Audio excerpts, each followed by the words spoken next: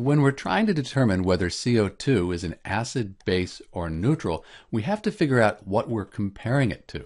So if we just have a sample of CO2 molecules here in a gas, we really don't have anything to compare it to. So it's best to just consider these molecules to be neutral, not an acid or a base.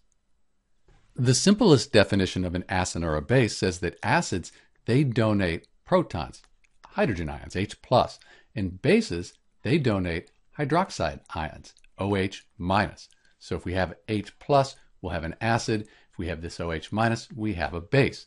But when we look at CO2, we don't have any hydrogens here. So the simplest definition, it doesn't work for CO2.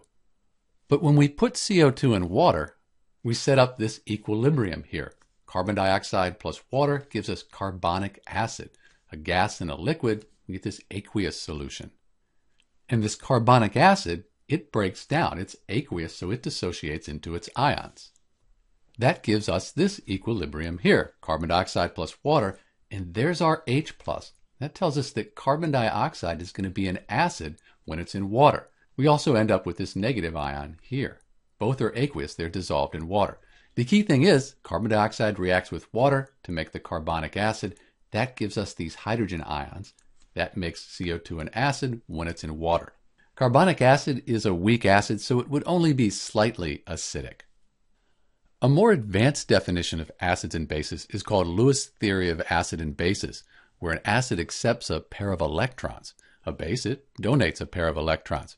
So in this reaction here, we do have the CO2 accepting a pair of electrons, and the result is this carbonic acid here. If you really want to understand why CO2 accepted the electron pair, you need to look at the reaction mechanism. So in the description for this video, there's a link to a discussion illustrating that reaction mechanism. But in short, CO2 is considered an acidic oxide, and it will result in an acidic solution in water.